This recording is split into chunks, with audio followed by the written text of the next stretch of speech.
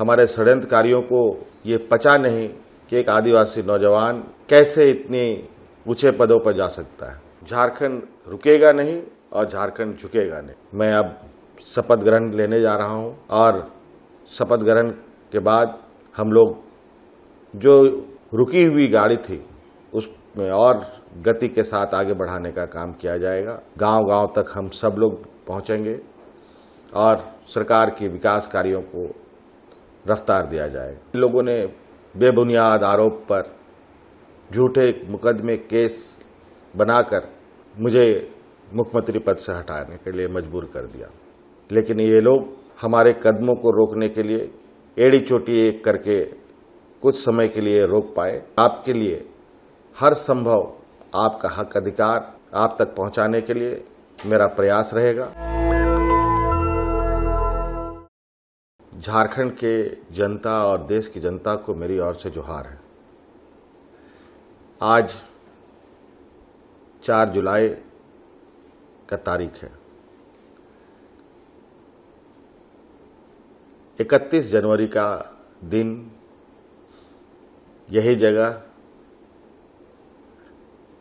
मैंने आपको एक संदेश दिया था कि किस तरीके से मेरे विरुद्ध हमारे विपक्षों ने षड्यंत्र रचा है। और ये षड्यंत्र में कामयाब भी हुए।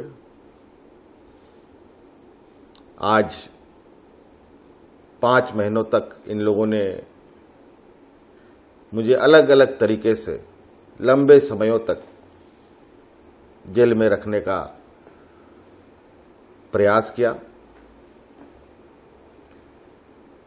हमने भी कानूनी लड़ाई का रास्ता अख्तियार किया।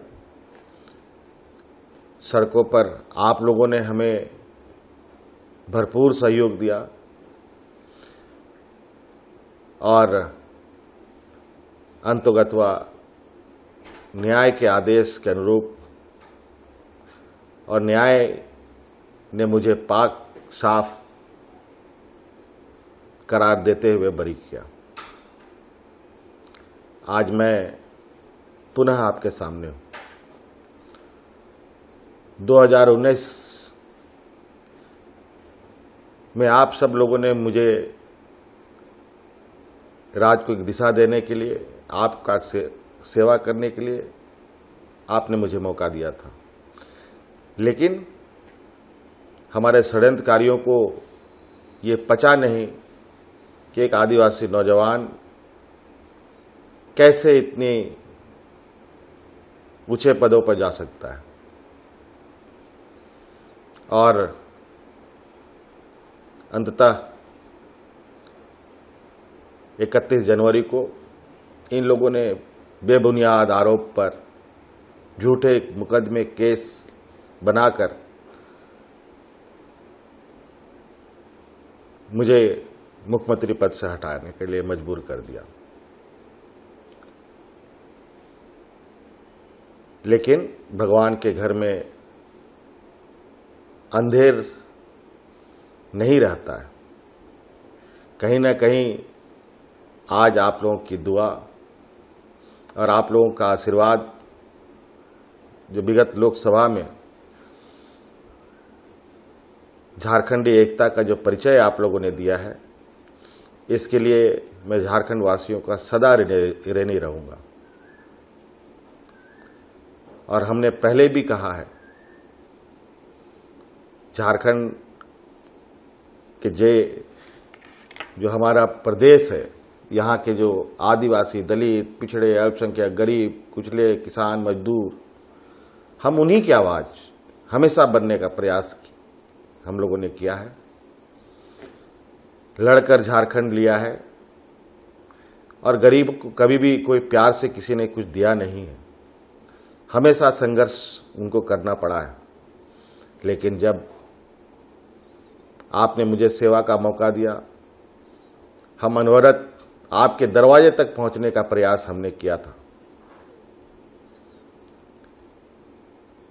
लेकिन ये लोग हमारे कदमों को रोकने के लिए एड़ी चोटी एक करके कुछ समय के लिए रोक पाए। अब मैं पुनः आपके समक्ष आ रहा हूँ और आपके लिए हर संभव आपका हक अधिकार आप तक पहुँचाने के लिए मेरा प्रयास रहेगा और इस राज्य के लिए मेरा हर एक निर्णय यहाँ के मूलवासी आदिवासियों के लिए, यहाँ के दबे कुचले शोषित पिछड़े वर्गों के लिए हर वर्ग हमारी कोशिश रहेगी। मैं अब शपथ ग्रहण लेने जा रहा हूँ और शपथ ग्रहण के बाद हम लोग जो रुकी हुई गाड़ी थी, उसमें और गति के साथ आगे बढ़ाने का काम किया जाएगा।